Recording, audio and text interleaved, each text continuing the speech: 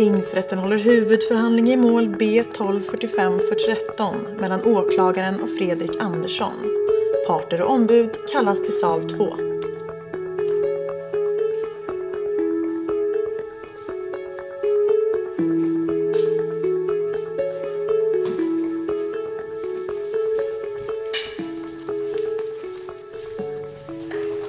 God morgon. Jag heter Roland Johansson, är rådman här vid tingsrätten, ordförande i rätten idag. Och I rätten ingår också tre nämndemän. Det är Ibrahim Abrahamsson, det är Katarina Månsdotter och Ida Shiraz. Och på min vänstra sida sitter notarien Anna Hörnsson som eh, sköter tekniken och för anteckningar vid förhandlingen. Åklagarmyndigheten företräds av kammaråklagaren Cecilia Karlsson. Ja. Tilltalad är Fredrik Andersson. Och för Fredrik Andersson så har rätten förordnat advokaten Johanna Lundström som offentlig försvarare. Ja. Målsägande är Daniel Östman. Och för Daniel så har rätten förordnat advokaten Per Pettersson som målsägande beträde. Ja. Och sen på åklagarens begäran så har vi kallat eh, vittnet Linda Shamires. De är delgiven kallelsen till idag och vad jag förstått sitter redan och väntar utanför. Och då ska det väl inte vara något hinder för att vi håller huvudförhandlingen idag? Ja, då ska vi höra vilka yrkanden som åklagaren och målsäganden har. Varsågod. Tack. Det yrkas ansvar för misshandel.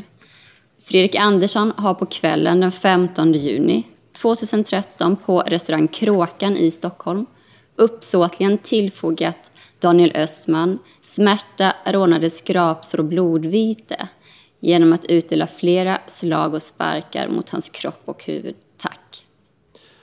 Daniel Östman begär också skadestånd av Fredrik Andersson med totalt 13 000 kronor jämte ränta enligt 6 paragrafen räntelagen från brottsdatumet till dess betalning sker. Av beloppet avser 10 000 kronor kränkningsersättning och 3 000 kronor avser ersättning för sved och värk. Och vilken är Fredrik Anderssons inställning till yrkandena? Fredrik Andersson förnekar brott. Han har endast till självförsvar gett Daniel Östman en lättare knuff varpå han på grund av sin berusning har fallit omkull. Och eftersom Fredrik förnekar brott så ska han inte betala något skadestånd och han anser inte heller att beloppen är rimliga. Ja, då har vi fått klarhet i parternas inställning och då lämnar jag ordet till åklagaren för att utveckla åtalet. Tack. Daniel Östman var alltså på restaurang Kråkan den här aktuella kvällen tillsammans med sin flickvän och några kompisar. Under kvällen så blir han utsatt för en oprovocerad misshandel genom spark och slag mot hans kropp och huvud. Som skriftlig bevisning åberopar jag det rättsintyg och fotografi som finns i förundersökningen.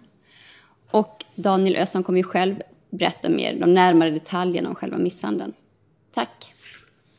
Ja, varsågod målsägande beträdet att utveckla grunderna för skadeståndsyrkandena. Tack ordföranden. Jag eh, får hänvisa till Daniels egna berättelse samt till det sjukskrivningsintyg som vi har gett in till rätten. Är det någonting som försvaret har att säga i det här skedet? Nej tack, Fredrik Andersson kommer själv att berätta om händelsen. Då ska vi eh, låta målsäganden Daniel Östman få berätta vad som hände den aktuella kvällen. Vi kommer att spela in förhöret med ljud och bild. Varsågod Daniel Östman och berätta med egna ord.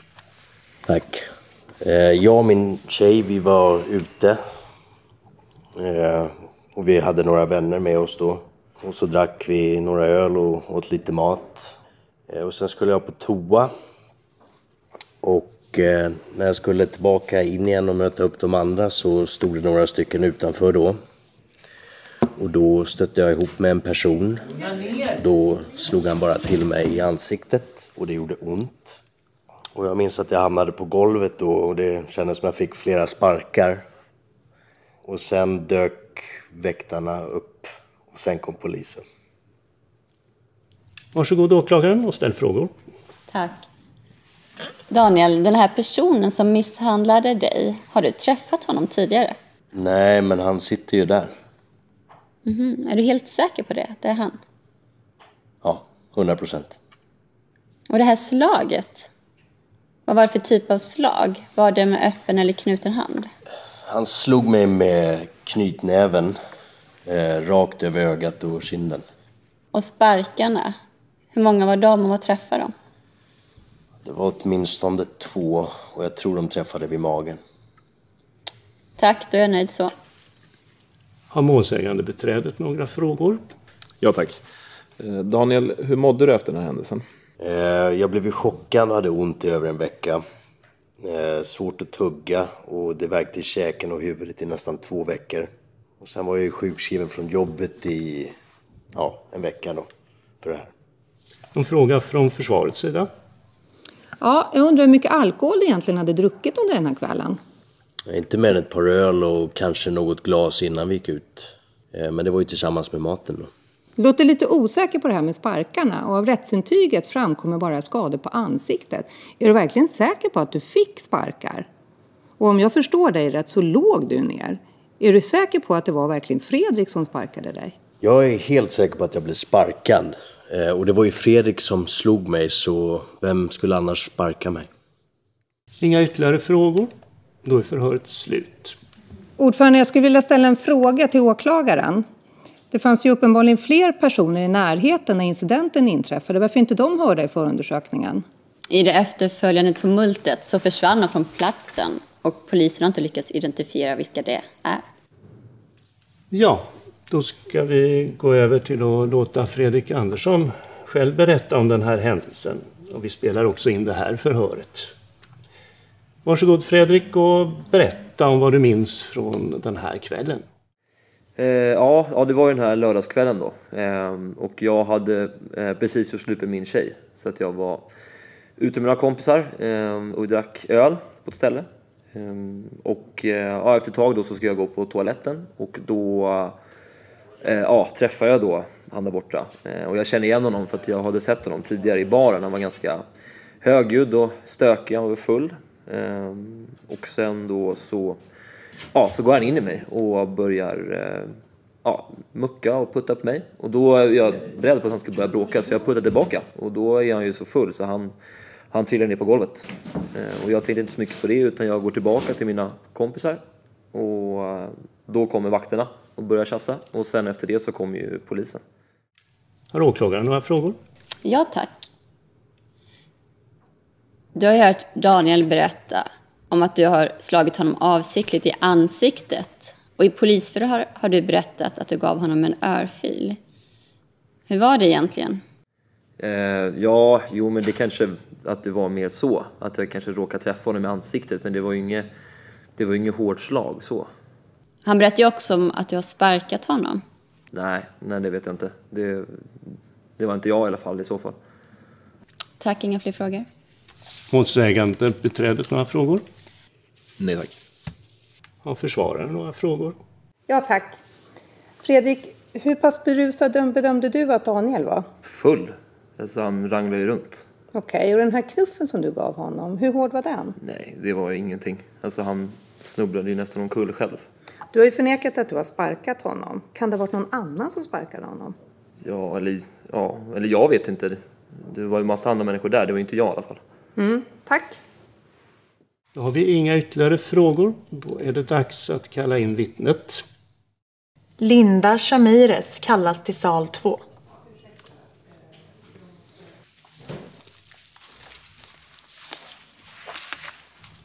Linda Chanires. Varsågod och ta plats här i mitten. Du vet varför du är kallad. Du ska nämligen höras om en händelse den 15 juni i år på eh, restaurang Kråka. Och som vittne kommer du avlägga en vittnesed. Och när du har gjort det så får du berätta om den här händelsen under straffansvar och är skyldig att hålla dig till sanningen. Är du osäker på någonting ska du säga det. Och det är lika fel att säga någonting som inte är sant som att eh, inte säga någonting som du känner till eller har hört. Har du förstått vad det innebär att vittna? Bra. Då ska du avlägga vittneseden, om du vill säga efter mig. Jag, Linda Shamires, Jag, Linda Shamires, lovar och försäkrar. Lovar och försäkrar. På heder och samvete. På heder och samvete. Att jag ska säga hela sanningen. Att jag ska säga hela sanningen. Och intet förtiga, och inte att förtiga, tillägga eller förändra. tillägga eller förändra. Tack, då har du avlagt vittneseden. Då ska vi spela in det här förhöret med ljud och bild.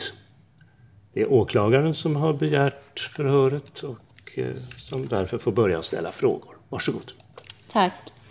Ja, Linda, du var ute och dansade med några vänner den 15 juni i år. Berätta om vad du minns vad som hände på restaurang Kråkan. Ehm, jag och mina vänner var ute och drack öl. Um, vi hade varit där någon timme, så jag skulle upp på toa. Och sen alltså nästan framme vid toaletterna så uh, såg jag att det stod ett gäng killar utanför. Uh, nästan tjafsade och skrek på varandra. Och sen så slår han till honom så att han faller omkull och eh, det blev en massa liv och vakterna kom och det. Det där slaget, såg du vilken typ av slag det var och var det träffade någonstans? Ja, eh, det var ett hårt slag mm, rakt i ansiktet på honom. Såg du något annat typ av våld? Ja, det var väl sparkar och så. Såg du vem det var som sparkade? Jag tror det var, var väl han som slog honom. Tack, inga fler frågor. Har målsägande beträdet några frågor? Nej tack. Någon fråga från försvarets sida? Ja tack, jag har någon fråga till Linda. Du, de här sparkarna som du talar om, såg du verkligen vem det var som sparkade? Alltså efter slaget eh, som han fick eh, så vände jag ju mig om. Eh, jag var rädd och ville se till att någon skulle komma och hjälpa honom. Så när jag sen vände mig om igen så såg att han låg där på golvet och höll sig för magen. Så du såg egentligen inte att det var Fredrik som sparkade? Var det inte så att det var flera människor precis i närheten? Kan det ha varit någon av dem som sparkade? Ja, Hur ska jag veta det? Jag tittade inte just då. Nej, okej. Tack, då har jag inga fler frågor. Några ytterligare frågor? Nej, då är förhöret slut. Får vi tacka dig för din medverkan här idag. Har du haft några kostnader för att inställa dig idag så, så får du vända dig till receptionen nere, nere i, i vänthallen. Eh, och du behöver inte vara kvar här längre om du inte vill. Vill du det så får du jättegärna sätta dig här på åhörarplatsen. Och med det har vi gått igenom målet i sak och då ska vi se vad vi har för uppgifter om Fredrik Andersson i tingsrättens akt. Fredrik Andersson finns inte i belastningsregistret. Av personutredningen så framgår att Fredrik studerar och eh, därför inte har någon inkomst. Frivården har gjort bedömningen att det inte finns något övervakningsbehov och att han är lämplig för samhällstjänst. Han har tidigare också gått med på detta. Ja, Fredrik, är de här uppgifterna riktiga? Om vi inte har något att tillägga beträffande personalen så är vi framme vid att slutföra målet.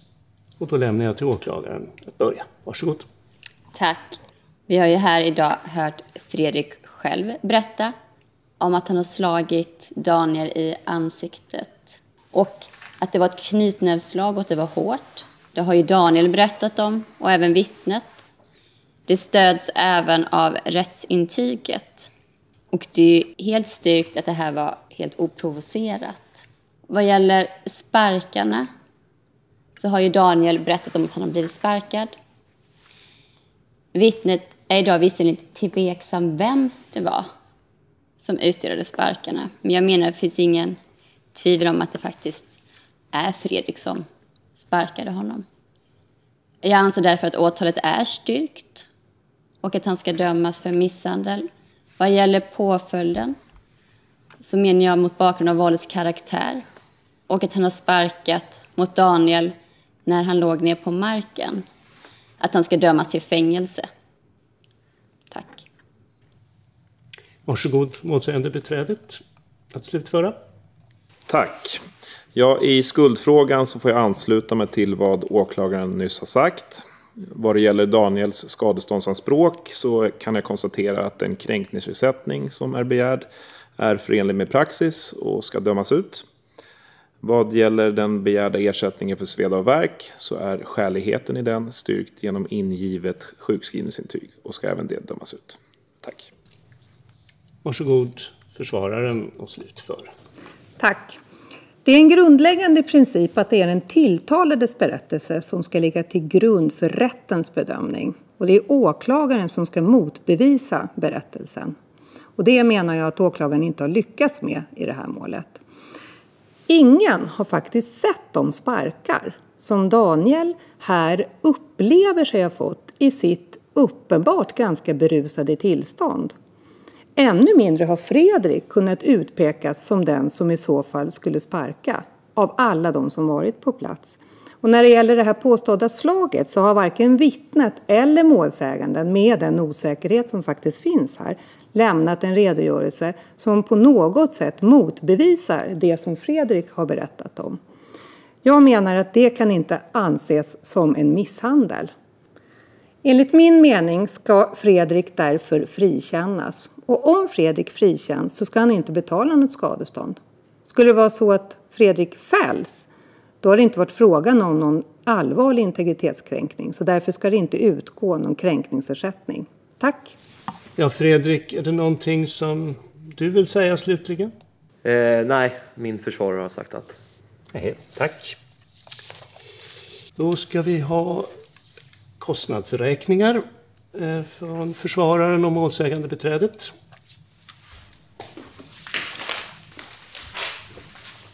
Tack. Tack så mycket. Tack. Eh, och här begärs det enligt taxa ersättning och med det så är huvudförhandlingen avslutad. Rätten kommer nu att överlägga med avsikt att avkunna en dom. Och om parterna vill vänta utanför så kommer vi att ropa på om en liten stund. Tack så mycket.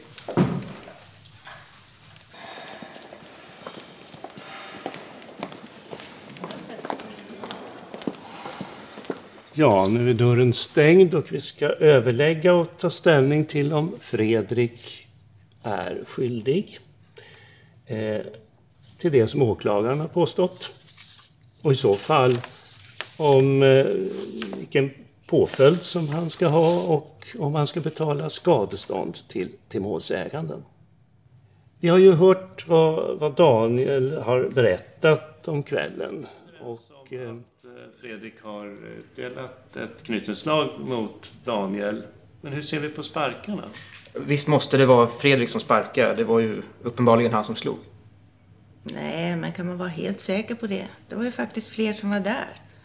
Det kan ju ha varit vem som helst. Vittnet såg ju slaget, men såg ju inte sparken. Mm. Ibrahim, vad är det som gör dig så säker på att uh, Fredrik som sparkade Daniel? Ja, jag var ju säker först, men nu när jag hör det andra så är jag beredd att hålla med. Ja, men då är vi överens om alla delar. Då är det dags att kalla in parterna och avkunna dom. Dom avkunnas i sal 2.